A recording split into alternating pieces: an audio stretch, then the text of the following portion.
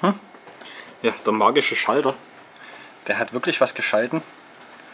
Ich habe da in den Comments nämlich einen Kommentar vom...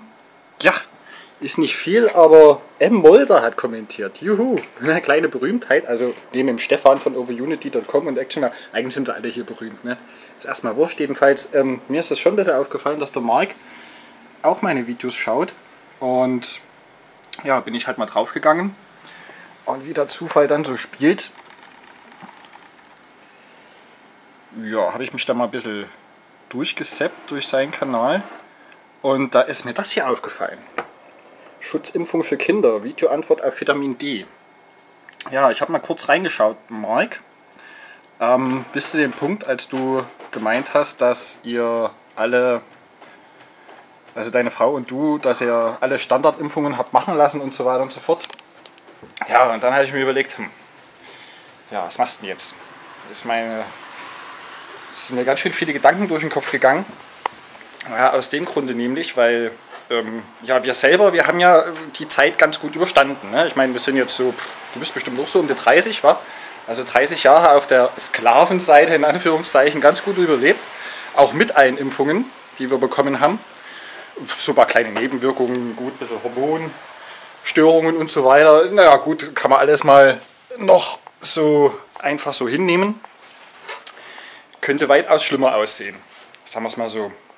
Ja, trotzdem, Vitamin D ist jetzt gerade ziemlich aktuell, ne? wird den ganzen äh, Babys eingeflößt, habe ich so mitbekommen. Und früher war es ja so ein bisschen Mode gewesen, dass den Babys so Fluor eingeflößt worden ist. Ne? Das machen sie jetzt nimmer. Ne? Ist jetzt nimmer aktuell, ne? jetzt ist Vitamin D aktuell.